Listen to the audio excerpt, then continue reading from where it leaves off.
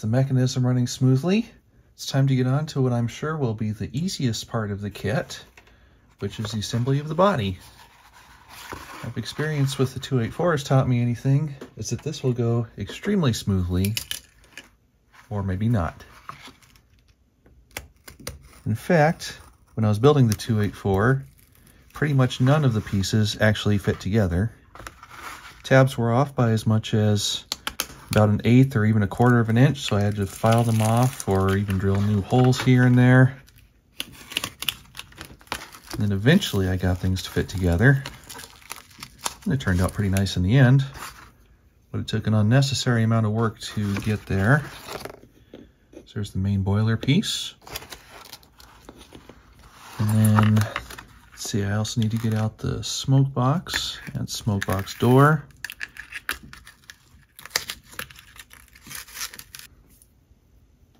Those came out nice and clean. Thanks to them being in that airtight seal, they still look brand new. Basically no oxidation on the metal. It is very thin material though, and this is actually a really lightweight boiler, so I don't think this model is going to weigh too much when it's finished, although it'll be really easy to add more weight inside if I ever want to do that. At the same time though, I'm not sure I want to do that because the axles are riding on that soft metal. So anyway, to start off, need to take off this flash around the edges.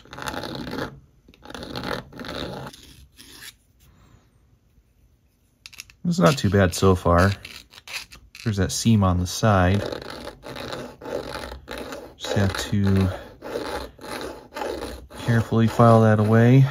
Make sure it stays nice and round. Cleanup's going pretty well so far. There's only a very small pit in that area, which I'll fill in later. So I'm just kind of using a sort of a rolling motion with the file. This is helping to keep the side of it round while filing off that seam. Oh, and by the way, the alloy that Arbour Models used is based on cadmium, so it's best to make sure your hands are cleaned up after handling this stuff. Okay, I've got it mostly cleaned up now. All that's left is the front here. There's one more seam and just a small amount of unevenness, which uh, you can probably see there. So I'm just going to start by filing that as flat as I can. To really finish that off nice and flat though, I'll just use this piece of sandpaper. This is 600 grit, so it doesn't take it down too fast. But you use a motion like this, after a couple minutes working on that, should be a nice flat surface on the front and get as small of a gap as possible when assembling the smoke box to it. That looks nice and flat now. So I'll set that aside and get started on the smoke box here. This doesn't have much flash around it, which is good. There is a tab here on the bottom. Want to be sure not to file that off. That aligns with the slot in the boiler. Let's just file the flash around it. And I don't have to worry about getting this flat. I'm just taking off a bit of flash.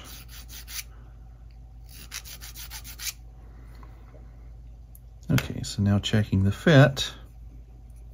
Line up the tab, just like that. And that looks pretty good. I really don't see any gap at all in there. So I'll continue with cleaning up the rest of it. Some flash here, that's easy to file flat. And then a small seam around here, most of which will be covered up by the smokestack and headlight. And this down here will of course be covered up by the top of the cylinders.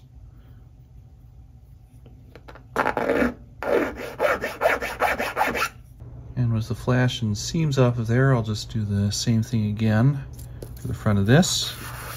Sand that down to make sure it's nice and flat.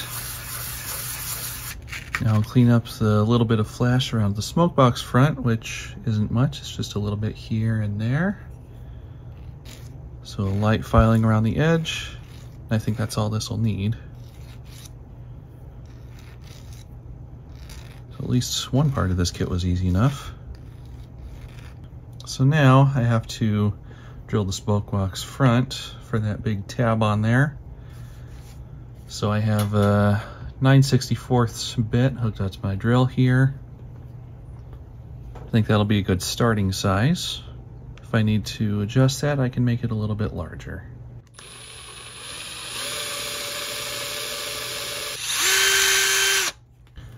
Looks like that didn't get quite centered on there, so I'll probably have to expand that hole.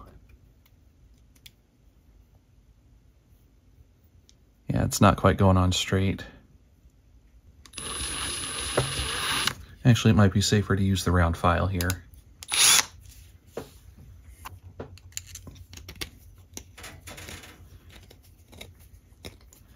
Yeah, this way I don't risk hurting myself with the power drill getting caught on that hole, which it seems to be doing very easily. I think part of that is just because of the um, softer grade of metal that this is tends to, sometimes when you're drilling a metal like this, it can sort of form itself around the drill bit. And then it grabs onto it and it's hard to get the drill bit out. Still off. So what I'll do now, I can see which way it's off center pretty easily, so I'll just uh, file it down this way. I'll have to open it up a little more, but then I'll be able to file it down. Yeah, there we go.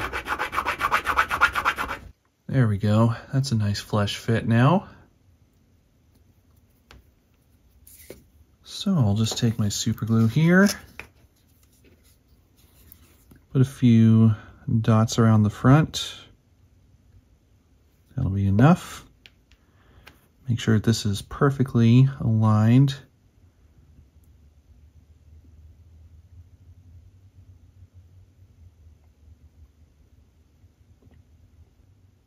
Let's see, not quite.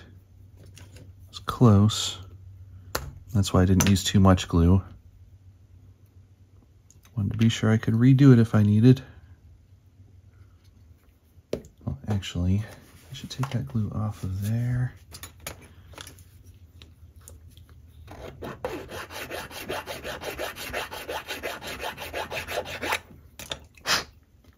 Now when you glue and re-glue, that can build up thin layers of glue over time, and that in turn will end up causing the part to sit away from where it needs to be, so you don't want to let that happen. Okay, trying again. Make sure this is perfectly aligned. There we go, that's right where it needs to be. and it looks like it's a good flush fit.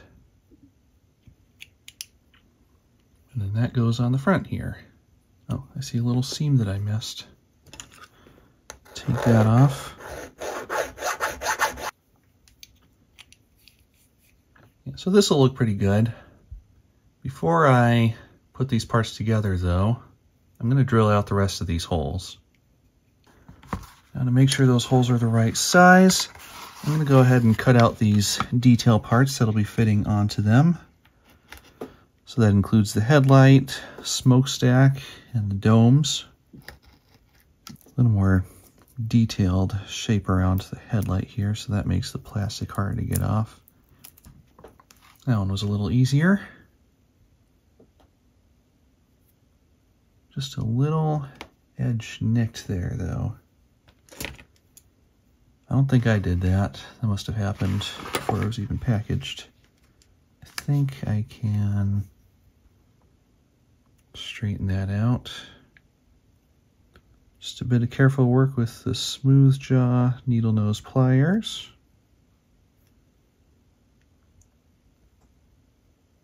Once that's painted, you should never even notice that it was damaged. I've got most of the drilling done now. So to get the holes to the correct size, I was just matching up the tabs to the different drill bits in my set. So using common sizes, I was able to get them to a size that fits well. It's just a tiny bit of looseness there that you can see, but that's all right. These will be glued down anyway, and that'll help me out with uh, moving them left and right a little bit just to make sure they're perfectly aligned. So the last main holes that I'm putting in the boiler here just for the handrails. And a 0.8 millimeter drill bit seems to be doing really well for that. Okay, so the drilling is all done, but after taking a closer look, I found that the boiler here does have some pitting around it in certain places, like you can especially see it there. So I'm going to fill that in and sand it smooth, and that'll help this to look a lot better when it's painted. So to get those filled, I'm just going around there, putting on a thin layer of super glue, liquid type. I've got my uh, baking soda tray here, so I'll just, uh, just roll that in there a little. Brush off the excess. There, so now you can see where things settled. And the baking soda dries the super glue instantly. So now I can just uh, file and sand that down until it's as close to perfectly smooth as possible. Up a little sanding there. That actually reveals that there was quite a bit more pitting than I thought there was. A lot of holes were filled on that when I um, used the super glue. Okay, I think I've got the filling done pretty well. Probably not perfect, but it should at least look good enough when it's painted. So I'm gonna go ahead and join these two parts together. I'm just gonna use a small amount of glue though, because of how this is made, I can actually separate the smoke box from the boiler, and that will make it easier to paint because I won't have to mask it off. And it should actually look cleaner once it's painted too. But for now, I can at least tack that together with some super glue. And now for the detail parts. I'm going to start with the smokestack here. So drop a glue on there. And let's see. When I was checking this, it actually had a slight backward lean or forward, so I'm going to make it backward leaning. It's not quite sticking. I'm going to put the glue right here instead. So then it'll get some on the base of the smokestack. There, now it's holding. So the headlight, I'm going to leave off until after painting because that's going to be black instead of gray like the rest of the smoke box. So that'll just make for easier masking. As for the domes, See, I'll go ahead and put on the uh, sand dome next. That'll go right here. So, same as for the smokestack, I'll just uh, put some glue around there.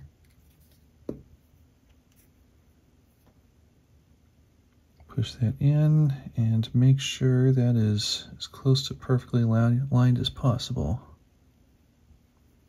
I'm going to put a little more glue inside of here just to be sure that it doesn't fall off. Because one thing I found with the 284 is that adhesives don't always like to stick to this metal very much. I know if it's the oxidation or just the metal itself, but uh, adhesion just doesn't seem to be as strong as what I've gotten from some of my other stuff.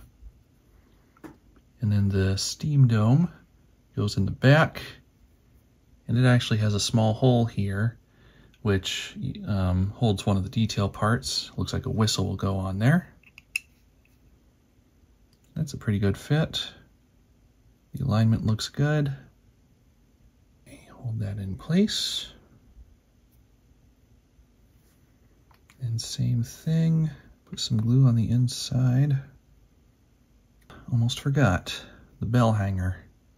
Since the bell is separate from the hanger, I can actually put this on right away and then put the bell on later. So when I do put the bell in, it has these uh, little hooks which are bent in by just grabbing with pliers and then squeezing down a little, and then that shapes around the tabs and keeps it all in place. Okay, next up they say to work on the running board. And that is right here in the packaging.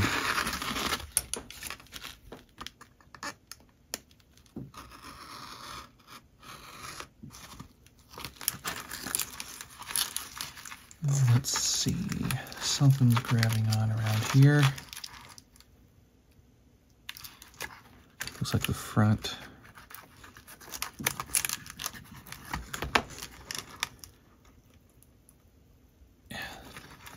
vacuum sealing may have kept the parts well protected. It also makes them, some of them anyway, difficult to pull out without damage. It's coming though. Come on, come on.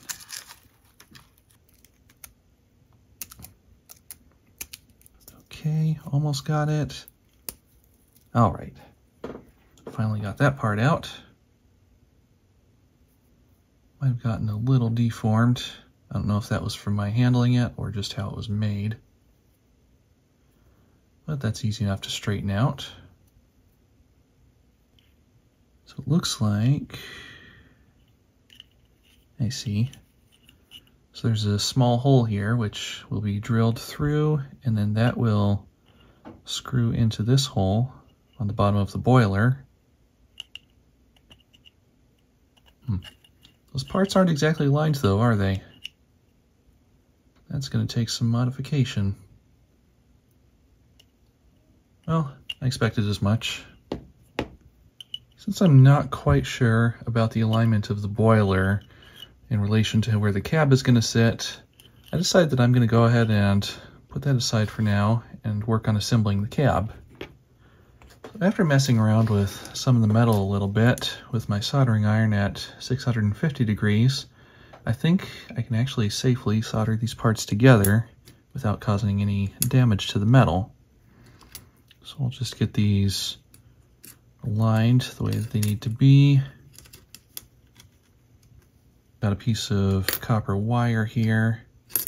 Those are going to keep falling apart, but yeah, I've got this piece of copper wire. I'm going to just kind of wrap this around the parts and then tighten it up a little so that it holds them together. Okay, so that was pretty tedious to put together, but that should at least hold the shape while I'm working on it. I'm sure there was a better way to do that, but just for something quick, seems to be working. So start out by putting some flux into there. I'll grab the soldering iron. Get some solder onto that. This tip isn't exactly in the best shape. I accidentally left it on for a long time at some point. Should still do the job though.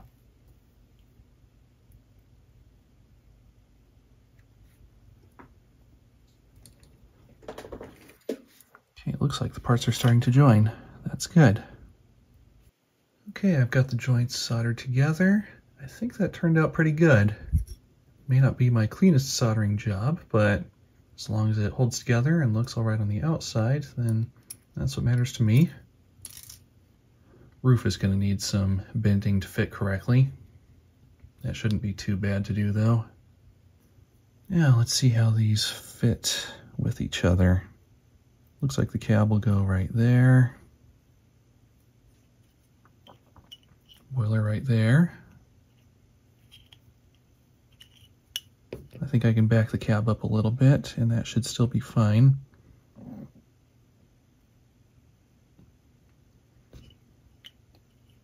Okay, looks like there is plenty of room to file these tabs backwards without um, getting a poor fit for the cab. So I'll do just that. File these tabs back until the boiler fits correctly. It turns out the measurements were off enough that I ended up filing those tabs off completely. But now, at least I can fit these parts together. So I did have to do quite a bit of shaping and filing of the roof to make it fit right. It's still not exactly perfect. There's a small gap you can see there. It's at least a lot better than it was. That was probably about a millimeter, maybe even a two millimeter gap in some spots. So I had to file the sides down quite a bit. And I was also just kind of bending it back and forth like this, making sure that the sides of it were nice and flat, or at least as close to flat as possible. But I think that's at least good enough now that I can solder it together. So for getting the roof soldered, I've got the front tacked in place so far, and I put more flux in just to aid with the solder flowing. So get more onto there. And just uh, go at it. All right, so thanks to the flux, that got a really good smooth flow of solder inside at both ends. So that cab is going to be really strong now.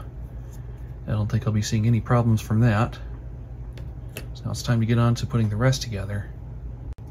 The boiler and walkway are held together with a small 080 screw. There's a spot right here for drilling, so I'll just take care of that real quick. Got the 080 tap. I'll just put a little drop of oil on there. And make sure that hole is threaded. That hole lines up there, and then an 080 flathead screw goes through here, so I'm actually going to um, do a little countersinking there before I put the screw in. I think this bit will do nicely for making that countersink. So just go at that real gently, slowly. I'm actually barely even touching the hole. And let's see, it should be one of these shorter screws here. Fits into the hole just like that. Looks like the head is mostly flush, so that's good.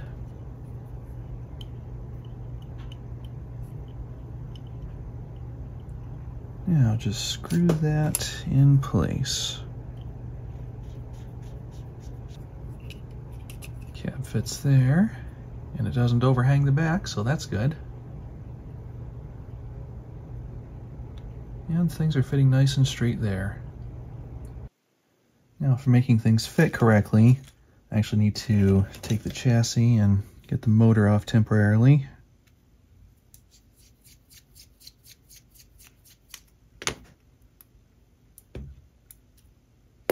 So with the motor off, I can check the fit of all these parts, make sure they go together correctly.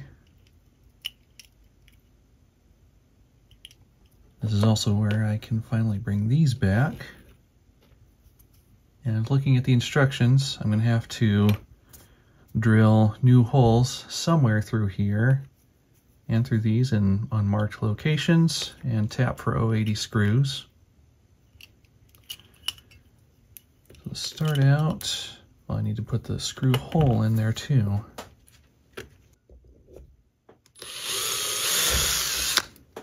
Okay. Clean that out a little.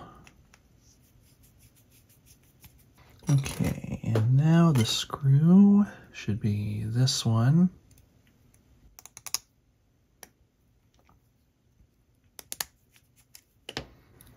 Yeah, that's right. I already tapped the 256 hole into here.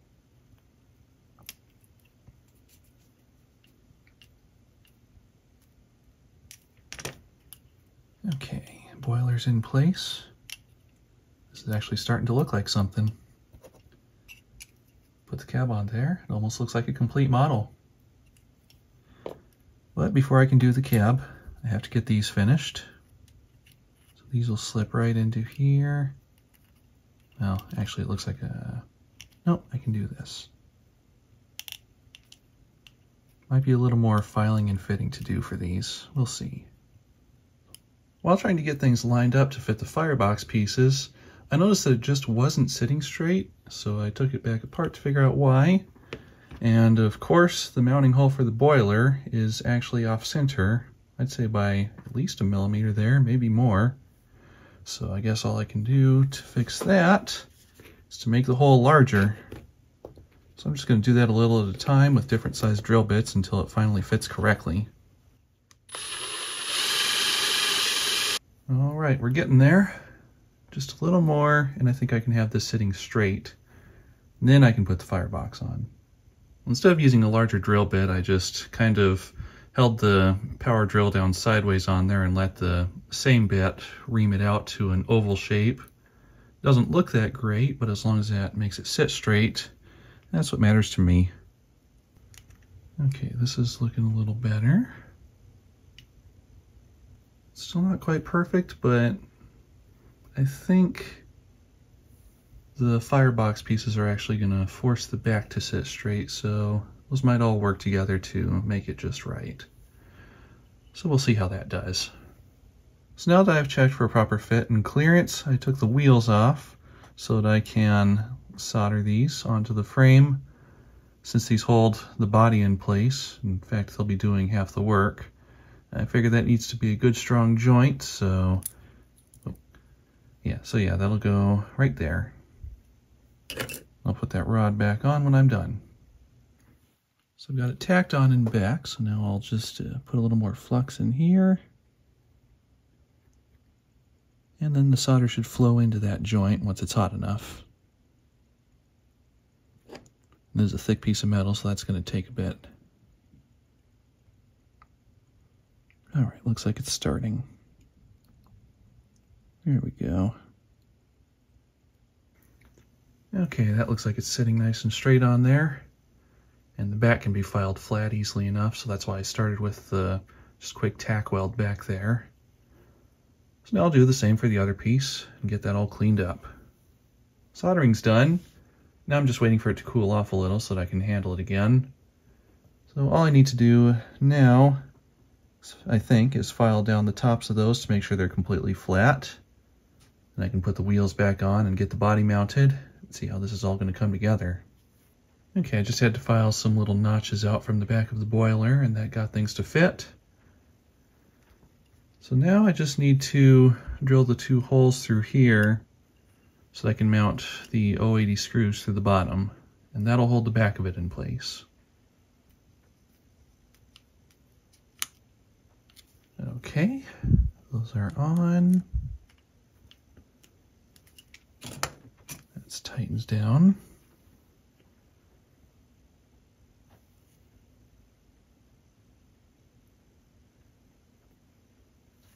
Okay, I think that should be good enough. Also, while I was checking the motor clearance, I found that the uh, bottom tab of the steam dome here was hitting the top of it, so I cut that down. The rest of this should all be fine. The spar has to be cut out from the center. And that, I think, is done after putting the cab in place. Yeah, so the cab will go right there. So I'll solder that on. And it looks like the main body work will be basically done after that. Cap is attached now. I only soldered the front points and then between the boiler and cab front.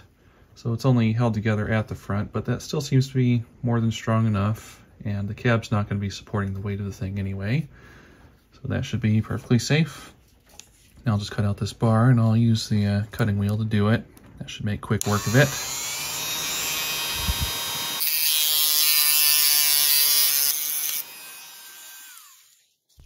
And that takes care of that. Chassis back together. The thing seems to be working smoothly.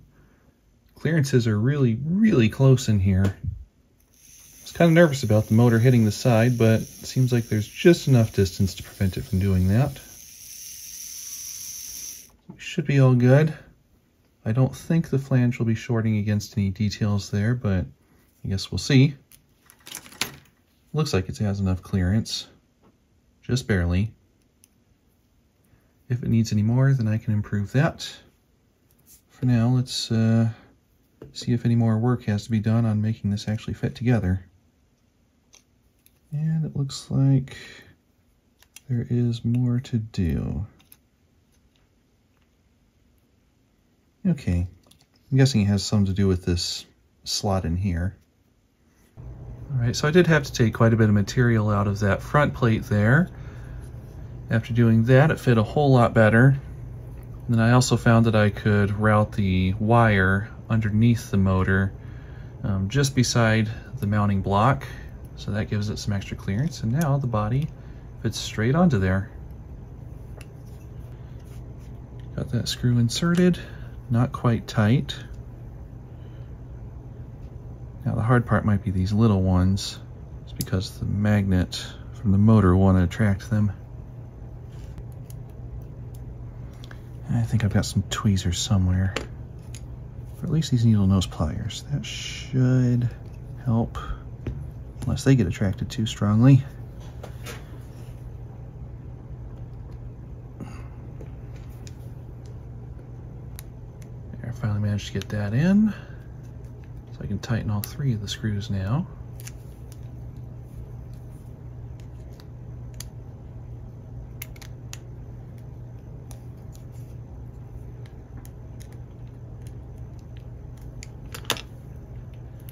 And I'll hook that up real quick just to make sure it's still working correctly.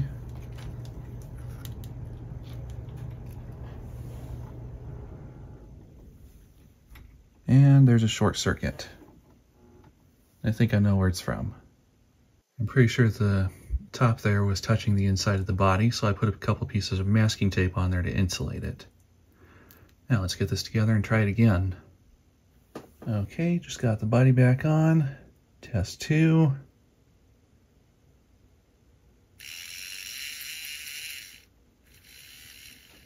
Seems like something's rubbing inside of there. But at least there's no more short. So it turns out the worm shaft, or the end of the motor shaft, was rubbing right up against there. So all I need to do is file that down a bit, and I think that'll take care of the last little problem. And here we go again. Yeah, that's better.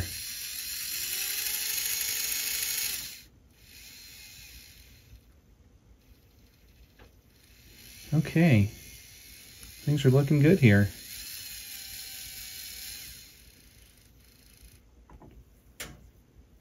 So I think all that's left for this video is I'm going to attach the front pilot pieces here and then call this done.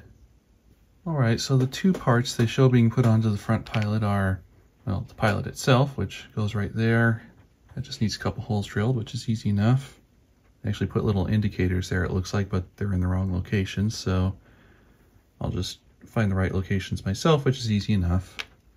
The other part they show is this uh, wood deck, which seems to fit to the top here but doesn't come forward far enough to actually get to the end of the pilot there. So I don't know if that's the correct position or not. When I was checking the instructions, um, they show it on here, which you can see, they don't actually describe it in the writing because I was reading through to make sure. And when I was looking at the photo of their assembled model, they they didn't even put it on themselves. So I might just leave that off of there until maybe next video or so, or the detailing video. Maybe I can figure something else out for it, figure out how it's supposed to go. For now though, I just need to drill a couple holes and then I can put this on. Holes are drilled. I used a 16th of an inch bit just to give myself a little extra wiggle room that's larger than the size of the tabs. So that way, in case I was off, I can get them in there easily and it looks like I got that right. I also trimmed the tabs down a little shorter so that I wouldn't have to drill too deep and potentially poke through the top. That's all sitting the way it needs to, so I'll just uh, put some glue on and put that on to the model. Make sure that's nice and straight, which it looks like it is. And now that's setting. All right, that looks pretty good, I think. Well, that's going to be it for this video. Next video, I'll put together the tender and see if it is just as much of a high quality piece of precision engineering as this.